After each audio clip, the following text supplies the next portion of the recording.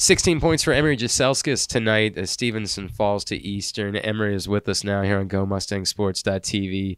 Emori, you were feeling it tonight. How good did it feel for you? I know that maybe the numbers to start the season weren't quite to your standard. How good did it feel for you to have some shots go down, to start seeing the results? Coach coaches were very um, uh, encouraging, and so going into the game, I was really excited for conference play and just kind of had that hardworking mindset. Um, and the shots came like coach was telling me just to get to the free throw line, and that helped a lot. So um, I'm glad that it was back for the first conference game. So you had to take a tough shot there at the end. We are talking to coach like, are you the type of person that like it's in your nature? I want in in that spot. I want it to be me. I want the ball in my hands. She had asked a few of us who wanted to take the last shot, and I we were all kind of off today, so I just took it and.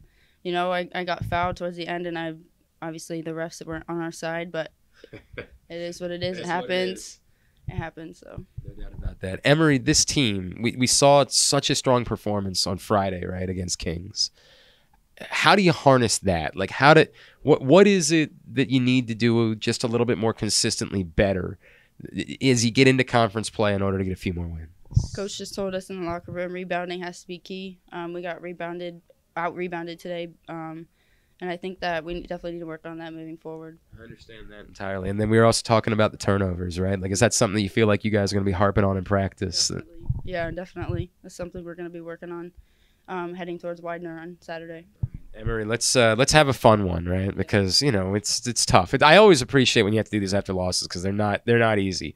Um, give me away from basketball. Did you have like a New Year's resolution for yourself this year?